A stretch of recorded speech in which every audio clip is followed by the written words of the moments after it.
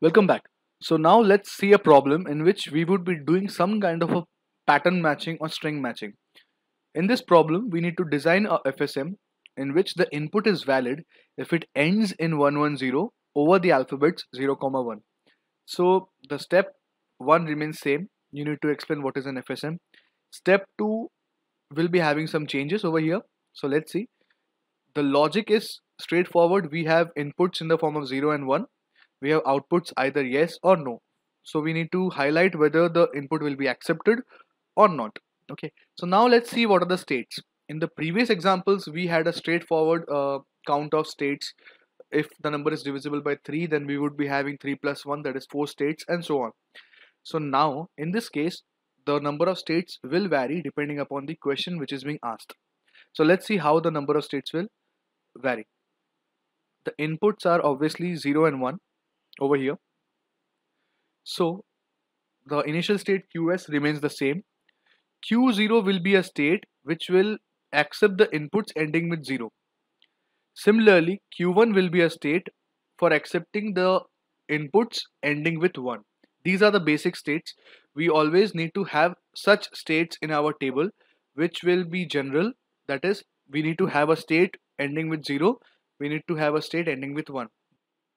The next state, in fact, depends upon the question which is being asked to us. So let's see, we are already having three states, QS, Q0 and Q1. So now we need to move according to the question being asked. For example, in this question it is asked that we need to have uh, a machine which will accept all the inputs ending with 110. So what we, we can do is, we can simply go one input at a time. Now we know that we are having a state to accept values ending with 0. We are also having a state which will accept the inputs ending with 1. But in our question, it is being said clearly that we need to accept the inputs which will be ending with 110. So over here, we can't directly jump from Q0, Q1 to the state Q3 because there has to be some kind of an intermediate step because we are uh, taking the inputs one at a time. So what we can do is for reaching 110 we must take input as 11 also because we can't directly jump from input 1 to input 110 clear? So for that purpose we have added an intermediate step q2 which will take the input and accept it if it ends in 1 1 clearly you can see from here it's common uh, straightforward logic that if 1 1 is the input and we take the upcoming input as 0 it would simply be 1 1 0 and hence in this particular q2 state state we will directly jump to q3 on reception of an input 0 is it clear? So hence we can say that q3 is my final state. Clear? So now let's fill it up fill the table so that we can conclude our example. So now QS is the initial state. Whichever input it receives, it's it uh, simply makes a jump to that particular state. For example, QS on input 0 will go to state uh, Q0. Similarly, QS on input 1, we know that the inputs ending with 1 corresponds to Q1 state. So we'll write Q1 over here. Next up, we are already having a 0 in the state Q0 so whichever input comes over here for example 0 is already there. Whichever input comes over here it is q 0 only because either 0 or 0 0 it will end in 0 only. So the state will be q0 similarly we are already having one 0 in q0 what if we receive an input 1 over here? Now let's do a quick check for this particular example we are having an input 0 1 over here. So which state we should jump to? Are we are we having any state ending with 0 1 no. So what we can do is we are not having any state ending with 0 1 but we are having a state ending with 1 in either cases 0 1 is also ending with 1 yes or no? The last symbol is 1 only.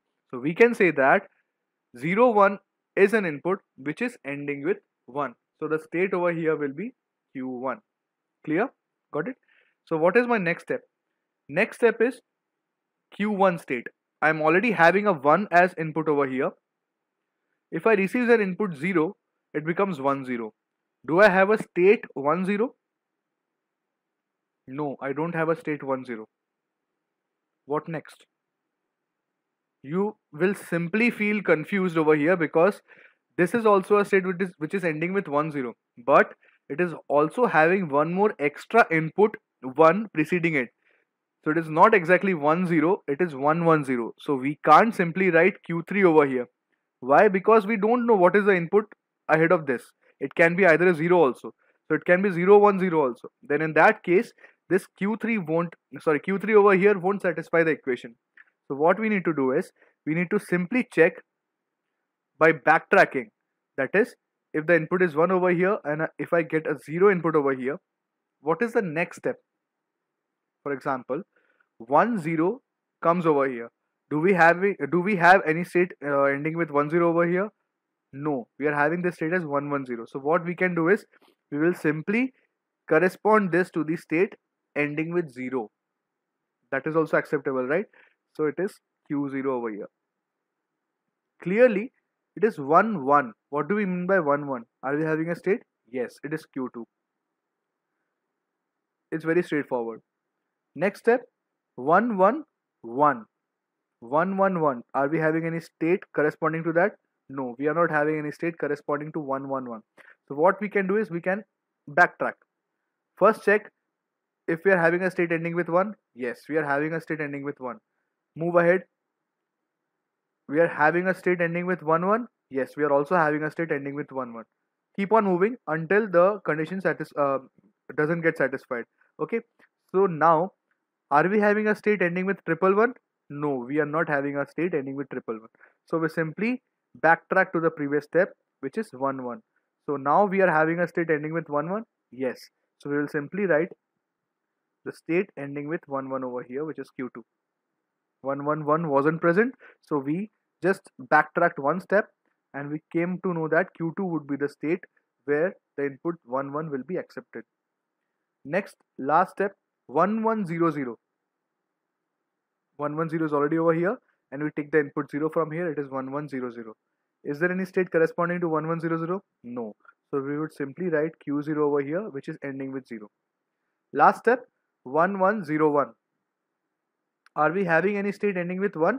Yes, we have. So move ahead. Are we having any state ending with 0, 1? No. So we backtrack.